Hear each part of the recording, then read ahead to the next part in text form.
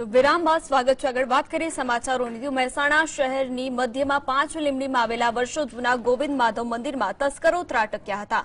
તસ્કરોએ ગોવિંદ માધવ મંદિરમાં ત્રણ મંદિરોની દાનપેટીઓમાંથી રોકડ ચોરી કરી હતી. તો મંદિર પરિસરમાં સ્ટીલ એંગલો સાથે જોડાયેલી દાનપેટીઓ તોડતા તસ્કરો સીસીટીવી કેમેરામાં કેદ થયા હતા. તો તસ્કરો દાનપેટીમાંથી રોકડ ચોરી ફરાર થયા, જેના સીસીટીવી ફૂટેજ પણ સામે આવ્યા છે. ગોવિંદ માધવ મંદિરમાં ચોરીનો આ બનાવ બન્યો છે. તસ્કરો સીસીટીવીમાં કેદ થયા છે. તો સુરતમાં પોલીસની લોકોને લોન અપાવવાની નવી પહેલને જંગી પ્રતિસાદ મળ્યો છે. સુરત પોલીસ કમિશનરના ભગીરથ પ્રયાસથી જરૂરિયાતમંદોને લોન આપવાનું કાર્ય શરૂ કરવામાં આવ્યું છે. તો સુરતના અઠવાલન્સ સ્થિત પોલીસ હેડક્વાર્ટર ખાતે આવેલા કોમ્યુનિટી હોલમાં લોન લેવા માટે લોકોનો ધસારો જોવા મળ્યો હતો. તો શહેર પોલીસના ભગીરથ કાર્યથી આઠ જેટલી બેંકો પાસેથી લોકોને લોન પોલીસ મદદરૂપ બની હતી. તો સવારથી શહેરના અલગ અલગ પોલીસ મથક હદના રહેતા અને નાના વેપારીઓને માત્ર આધાર પુરાવા ઉપર પચાસ હજાર સુધીની લોન અપાવવામાં આવે છે.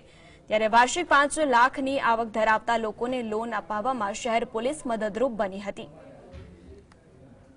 એટલો હૃદયપૂર્વક સૌ તરફથી હું આભાર માનું છું.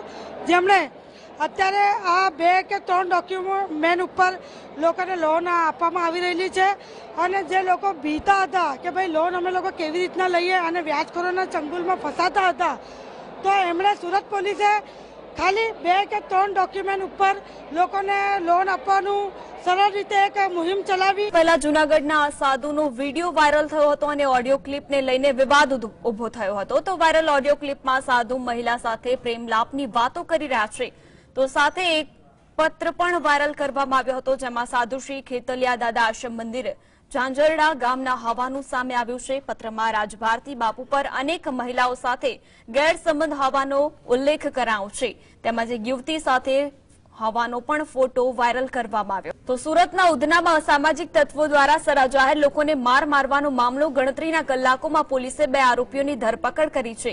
નશામાં દૂધ બને શખ્સો ઉધનાના ખરવર નગરમાં નગરમાંથી પસાર થતા હતા. તે સમયે ત્રણથી ચાર વ્યક્તિઓ તેમના પર તૂટી પડ્યા.